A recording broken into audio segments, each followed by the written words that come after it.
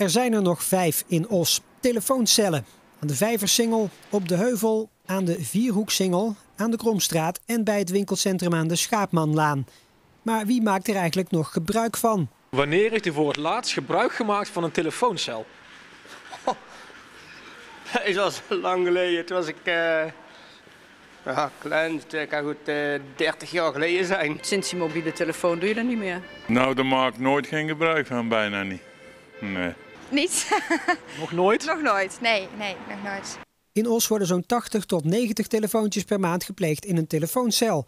Dat komt dus neer op zo'n 1000 per jaar. Het bedrijf RBL, een dochter van KPN, is de baas van de cellen. Zij laten ze staan zolang ze niet verliesleidend zijn. In Os leveren de cellen volgens het bedrijf geen geld op. Zonder reclameuitingen zouden ze sowieso niet kunnen blijven staan. De gemeente wil de cellen behouden. Als je mobieltje leeg is en je hebt een noodgeval, dan kan je altijd nog naar een telefooncel lopen.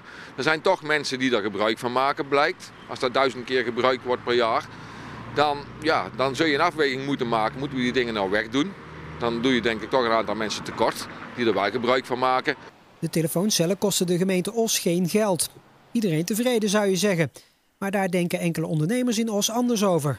Want de cellen worden niet alleen gebruikt om te bellen. Dat is het publiek waar, je liever niet, eh, wat we liever niet in de stad hebben. Eh, ja, ik weet niet of je er zo een stempel op mag plakken, maar eh, ja, het, zijn- het zijn niet onze gasten in ieder geval die daarop afkomen. Mag ik het dan zeggen? Drugsdealers? Ja, daar, ik, daar schatten wij het wel zo in dat eh, die categorie, tot die categorie toe behoort, ja. Soms doen ze die raam kapot maken. Maar ik zie dat niet. Hè. Als ik zie, dan bel ik naar politie of ja, waarschuwen, zeg maar. Maar dat zien we. Want Nasmi Demir, die een zaak aan de Schaapmanlaan heeft, mag de cel best weg.